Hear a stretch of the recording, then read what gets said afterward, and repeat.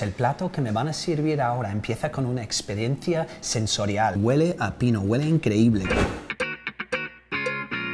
Estos son los destinos gastronómicos más importantes del mundo. Yo soy James Bleak y os voy a mostrar dónde comer en Madrid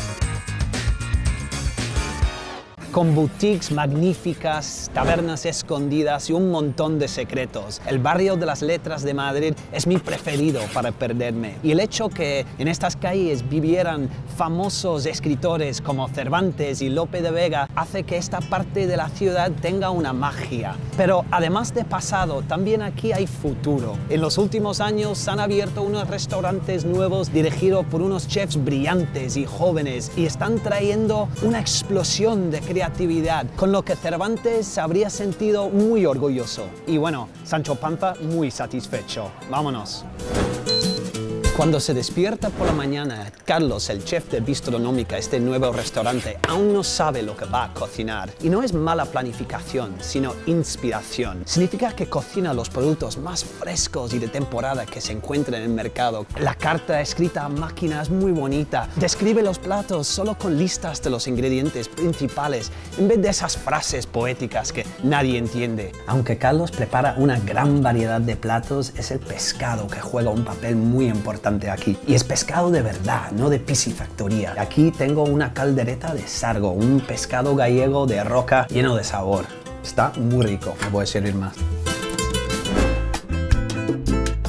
Las playas canarias quedan muy lejos de esas estrechas calles de Madrid, pero eso es lo que me encanta de este país, la diversidad. Al viajar por España, los paisajes, los idiomas, la comida muy importante cambian tanto. Así, ¿qué se come de verdad en las Canarias? Pues el sitio perfecto para averiguarlo es aquí, Gocio. Abrió hace poco y el chef es un canario súper cool que se llama Safe Cruz y está trayendo recetas y productos muy poco conocidos de las islas a la capital. El plato que me van a servir ahora empieza con una experiencia sensorial. Aquí dentro hay un trozo de la tea del pino canario y huele a pino, huele increíble. Este plato es un viaje por las Islas Canarias. Tenemos un roast beef, un toque inglés en el plato y luego durazno herreño, queso gomero y también mojo palmero. Lo que tienes que hacer es cortarlo, enrollarlo un poquito para combinar los sabores me encanta la fruta, el pino que está ahí, el sabor, un poquito crujiente también con el pan que está tostado ahí encima.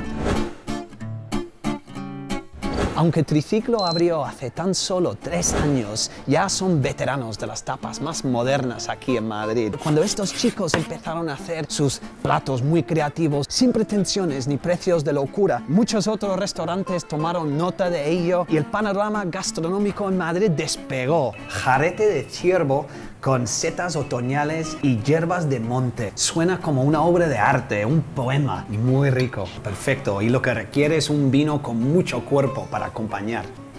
Perfecto. Estos han sido mis lugares preferidos por su sofisticación, historia e innovación. Pero aún queda mucho por descubrir. Acompáñame en mi próxima ruta. Me voy a servir más.